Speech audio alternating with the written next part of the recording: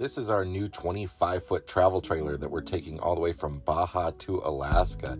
It is one space with two bunks and a queen bed and no rooms. There's plenty of storage though, a small kitchen with a deep sink and a three burner stove. Below is a convection microwave. There's no actual oven, and there's some decent storage under the sink and above. The fridge is a DC compressor fridge. There's a pantry that's got a lockbox in it, and below there's an integrated vacuum system.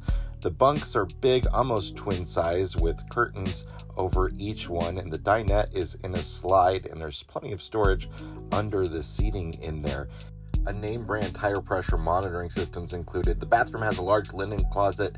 The shower has a shower miser system that recirculates the water till it's hot so you don't waste it. And in the bathroom are the control panels, including three for heated tanks and your solar charge controller. That's it.